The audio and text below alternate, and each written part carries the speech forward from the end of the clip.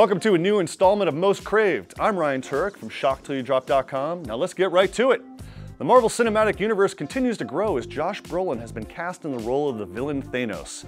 Now you remember we saw the character at the end of the Avengers and we will be seeing him again in Guardians of the Galaxy this August.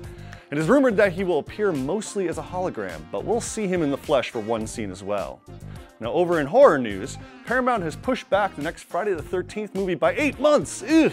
Jason will hit the big screen again on November 13th, 2015, which is of course a Friday.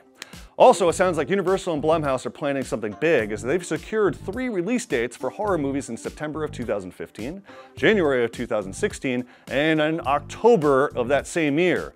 Is a horror is a new horror trilogy on the way perhaps? Maybe?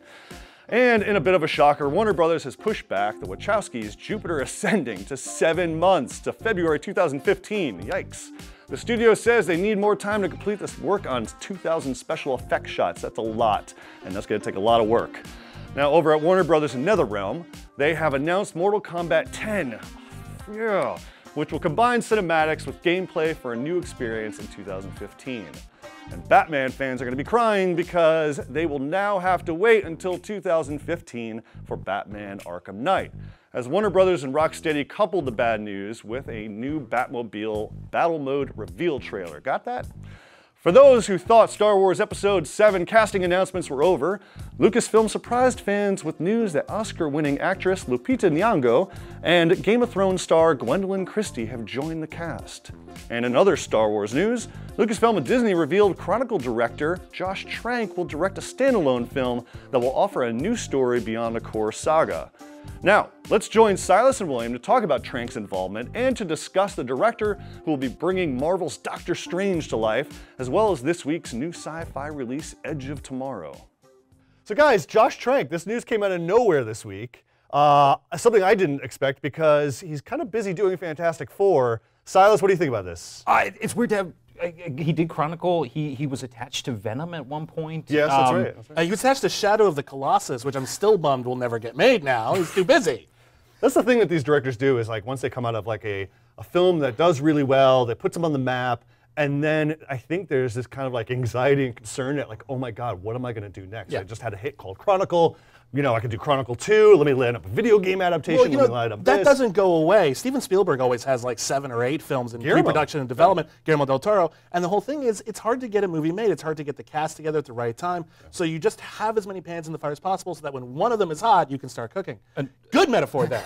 but, uh, but uh, Josh Trank is new. He's lining things up as fast as he can. While he's Chronicle is still a big deal. Yeah. Uh, but I'm pretty sure the Star Wars thing is going to get made. I'm pretty sure he's going to be all right. I think so too. Yeah. yeah. I mean, like it's just interesting how he got the gig because he's busy doing Fantastic Four. So what is Lucasfilm Disney going on? Are they going based on the success of Chronicle and what he demonstrated there? Because it's kind of hard for me to think that a producer will look at Chronicle and go, he can give us action scenes. That's not found footage. He can direct this. That's not found footage. Chronicle is a very character-based film, though. Well, that's what I'm saying. Yeah. I was going to get to the character point of yeah. it. But oh, you also sorry. need to, no, no, no, but you need to demonstrate, whoa, you need to demonstrate, too, that you can actually direct something and direct a scene with intensity and stuff like Maybe that. Maybe they saw that uh, Canadian miniseries he did. Was it Kill Point or something? It was like a bank heist. maybe that's know. like really Star Wars yeah. oriented. Or maybe they just saw stuff from Fantastic Four, or what yeah. maybe like, or maybe he leaked other stuff to them. Or, but I just think it's really interesting that uh, yeah. you know he is the next director in line after Gareth Edwards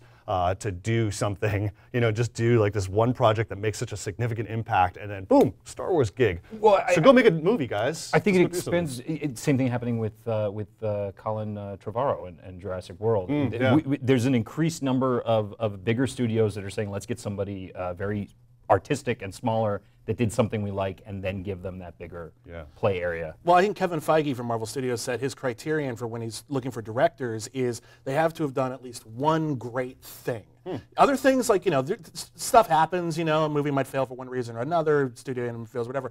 But if they can put out one great movie or one great TV show or something like that, that shows that they have it in them. And Josh Trank made one great movie. Yeah.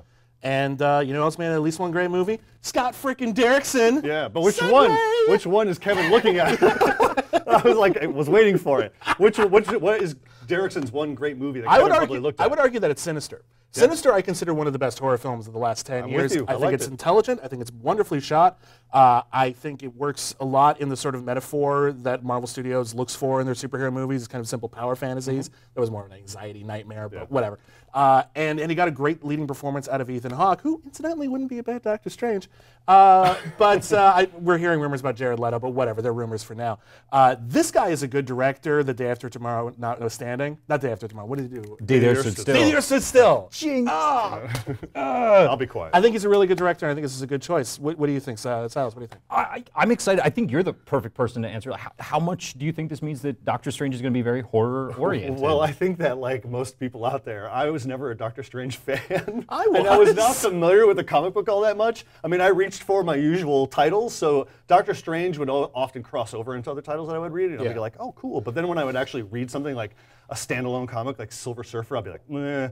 Um, but I'm really excited about the prospects of you know the kind of uh, uh, otherworldly nature of it and what Derrickson can bring to the table. Uh, he's got another film coming out called uh, um, Deliver, Us from, Evil, Yeah. uh, and I'm hearing some fantastic things about that. The trailer for that movie freaked me out with the, with the toy owl. Yeah. I, I was watching this with uh, it's with my with my podcast co-host, and we were just like, that owl's going to do something. that owl's going to do. No, the owl. well, I think this will be Derrickson breaking outside of the box, but also reaching for you know some of the staple genre tropes that he has created for himself within his you know cinematic oeuvre. And he's been very classy about it in his other films too. They're not like the the the day there stood still notwithstanding. He's not very visual effects driven. He's very much, and I think that's what Doctor Strange probably needs is not to be too fanciful, maleficent CGI fantasy characters flying around. I think it needs to be somewhat grounded to exist in the Marvel universe. Because this is the weird thing about Doctor Strange. In the Marvel Cinematic Universe, they have pretty much made clear that there is no magic, only science we don't understand. So incorporating magic now into it is an unusual choice, and it has the potential to expand the universe, and it also has the opportunity to make the universe more confusing. Yeah, Uh, yeah. That's a that's an interesting question I think I have to deal with. I've said before, I, I would love to see, uh, since he doesn't have a solo movie of his own yet, Bruce Banner. Have Bruce Banner go to Stephen Strange and say, I need help with my condition. He's had two solo movies. Well, not with Mark Ruffalo. Granted, granted, I do think The Incredible Hulk is an underrated film, though.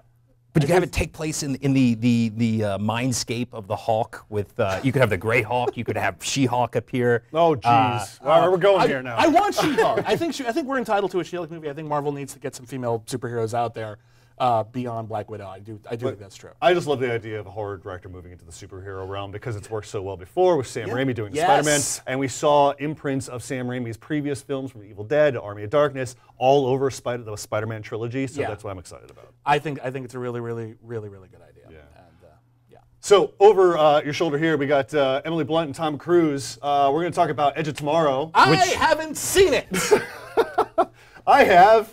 and I have, uh, and I liked it quite a bit. Yeah. Uh, it, it should be opening in theaters today. So uh, if, if, if you saw it, share your own thoughts below. Uh, I, I enjoyed it. Listen, man, I went in with no expectations, and I'm shh, quiet. I'm an Oblivion fan. I liked Oblivion. I don't know if that renders my, my opinion moot, but I really, I, I really liked Edge of Tomorrow. It surprised me. It's really clever. It's really smart. It's very like cynical and sarcastic, and it's got some really great gags. And I'm like, this is this is a classic Tom Cruise vehicle because it's not just him playing the hero. He is a coward. He takes a, a- a significant character arc. We see Tom Cruise start from the bottom, and then he becomes through the film the Tom Cruise that we know and love, and that's what I liked about this. I will say, tiptoeing around spoilers, I love the movie. I, I thought the ending was really weak Yeah, and sort of so-so reeked of a, a studio uh, switching it out at the last minute. Yeah. What did you think of the ending? Let us know in the comments. Yeah, guys. We got to wrap this up, but I liked Edge of Tomorrow, I liked it with a couple reservations. and I'm going to speak for uh, William here and say he liked it too, I think. What the? No. Come back next week, guys. We'll see you.